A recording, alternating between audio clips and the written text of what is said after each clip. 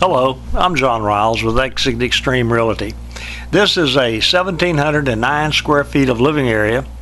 It's a four bedroom, two bath, split plan with a two car garage. Electric garage door opener in the garage, by the way. Uh, it's a beautiful home, has some gorgeous ceramic tile throughout the house. Uh, it really shows well. It's been well maintained. Many of the things have been updated in the home. Uh, all stainless steel appliances, paddle fans throughout the home.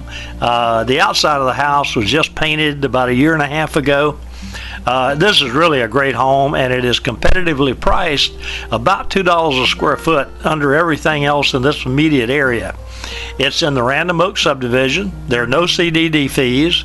Uh, it's close to schools, shopping, uh, public transportation, and it is not a short sale. Call me today.